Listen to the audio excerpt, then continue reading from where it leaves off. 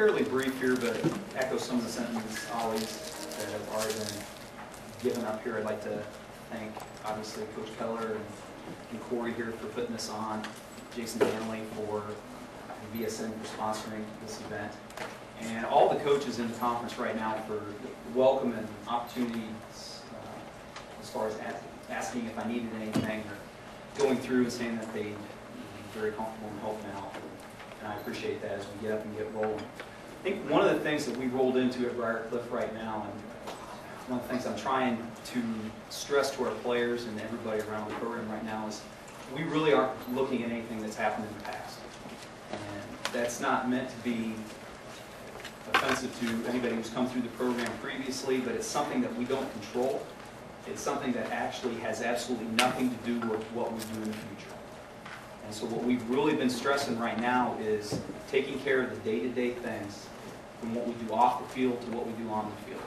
And that's going to be something that, as I speak, you know, we're going to talk about those a little bit and everything that I do right now as we move forward as a program and go that way.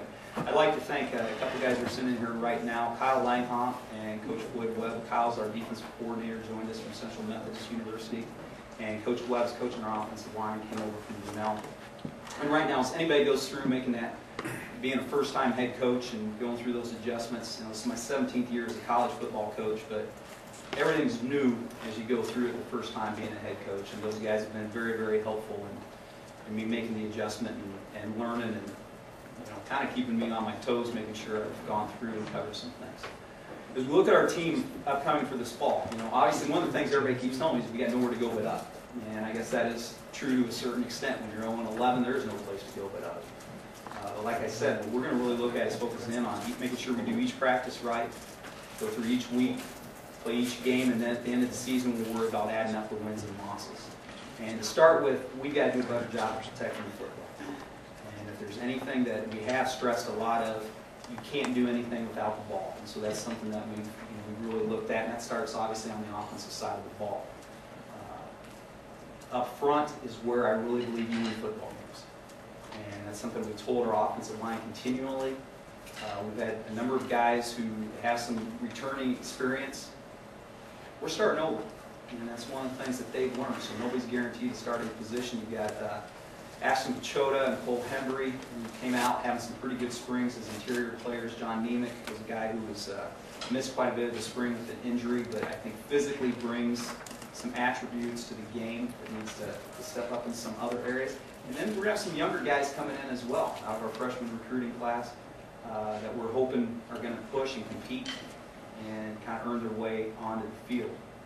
My quarterback position is the one that always comes up. It's the one everybody wants to talk about. There was three guys who rotated a year ago and went through. with two of those three returning, and Kyle Gertis and Lane Clausen. Uh, we also a guy named Ryan Hyatt who finished up the spring and probably showed very good improvement from the start of the spring to the end. At this point, we haven't named anybody to start going in. And we have a transfer by the name of Caleb Phillips coming out of Southwest Baptist University, D2 Missouri, who uh, we also expect to come on in and, and join the fold to compete. So come game one, that's still not settled. And it's going to be something that camp's going to be able to, to decide and dictate. And what's really going to come down to is who's able to direct what we do offensively and, and take care of the football. As far as one area where we lost a lot of guys, but I think can actually be a fairly decent strength for us at the receiver position. Uh, with Luke Roeder returning, Luke missed all of last year with, uh, with an injury but was coming off of the, the previous year where he led our team in, in receptions and yardage, yardage and touchdowns and all those. So what we're hoping is he's able to return back to, to full form and help us there. Uh, Drew Prohaska, I thought, had a very good spring and is athletically a guy who can do some certain things with in space. Uh, Zach Clement uh, and Chase Colvin are two taller, lanky receivers who I think, you know, they're now going to have their opportunity to see what exactly they can do. So even though statistically it looks like we, you know, we've lost our, our top three receivers, I think it's an area we can, can actually be a strength for us on the offensive side of the ball. The running back position, that's going to be one that's going to be quite a bit up in the air. David Shepard, who played, believe it or not, started as a fullback last year and then moved to guard, uh, was our fullback start of camp, and by the end of camp we had him starting at tailback. And one of the things I like with, with, uh, with Shep is he just goes straight forward. And, you know, Coach Ryan already touched on it a little bit. You know, you want a guy who can lean forward and continue forward and fall forward. Shep didn't have a whole lot of moves, so he has no choice in the matter but to fall forward. So those are the things that we're looking for right now our guys is, is plugging along that way. We also have a freshman coming in by the name of Dwayne Radden out of, uh, out of California who ran for just under 2,500 yards and 29 touchdowns last year as a senior. So obviously, he's going to get a very good look. Uh, defensively, and that's the side of the ball that we're going to ask a lot to start out with. They know that they were put in some bad situations, and we're put in some bad situations again as we continue to grow. But uh, I, I think that's an area that can be the strength of our team up front. We aren't as strong as we need to be depth-wise, but we'll continue to try to develop that. Uh, Adnan Kasapovich on the inside is a guy who we expect to step up and, and help us make some plays. Joe Melton, who's been a very good leader of this program right now, continuing on, although he's going to miss the first few games with an injury, but we expect him back hopefully by game three, game four, somewhere in that time frame. And then uh, Brendan White, who's also going to be a fifth-year senior, who's returning from an injury a year ago. So those are some guys up front that hopefully we can see him step up and help us. Linebacker, I expect to be the strength of our team. If you were to sit there and say, what do you consider the, the top players on your program?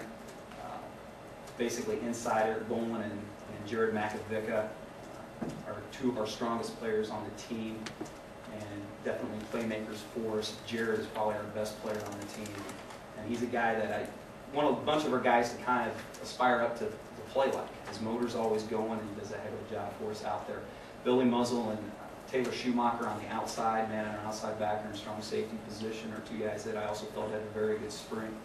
And then in the secondary, we had three guys at corner. Jonathan Smith, who's a returning starter for us, who will only be a sophomore, who physically has all the talent in the world. Now it's just going to be a matter of him growing up and, and putting that out there on the field. Uh, Ricky Miller and then Cecil Milton, who are two other players returning at corner we like. And then Ryan Prather, uh, starting for us at free safety, returning starter from a year ago. So defensively, we're looking for those guys to hopefully continue to, to progress and, and help us out with things and, and go from there. In the kicking game, we're still looking for, you know, for a number of guys. And with Kane Keel returning, who's an all-conference punter for us, this is kind of a little, you know, that's one of those things you look at back and forth. You got the all-conference punter, there's usually a reason for that. Uh, but we'll continue to progress there. We have a number of freshman kickers coming in, and we expect one of those guys will, will pick it up. Uh, most, notab- most notably, probably a guy named Kevin Johnson out of Wisconsin, uh, who was an all-state kicker and also averaged over 42 yards a punt last year as a senior. So he's going to be a guy who will also be able to push Kane as we, we move forward. So hopefully what we, we find out of us is we're going to continue to progress. We'll go out there, we'll learn each week, and you see improvement throughout the year. And hey, at the end of the year, we'll see exactly how we did and, and go from there. Any questions? How healthy is Luke Roder? Is he back? You think He- he's fine. He went through spring. You know, it's one of the things coming off of a knee. There's a lot of guys who are always going to have a little bit of questioning on as they, they go through and, and learn learn about it. You know, you're always going to have a little bit of swelling. It's, it's just part of the, the nature of the business. I think our biggest thing for Luke is going to be just getting him out on the field and getting him hit for that first time. And seeing that he's able to get back up and go back in the huddle. And, you know, once that happens, I think he'll be fine. Anything else?